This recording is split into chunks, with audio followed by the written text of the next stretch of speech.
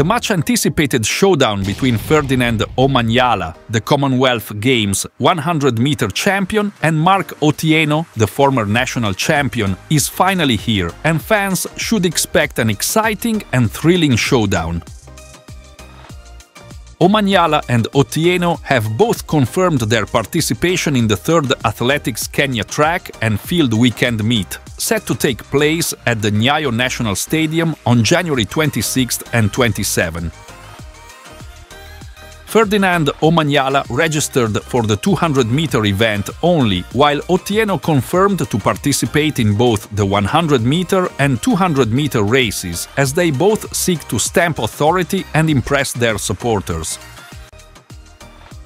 Isaac Omurwa, the younger brother of Omanyala, will go head-to-head -head with Otieno in the 100-meter races, while Omanyala will go up against Otieno in the 200-meter event.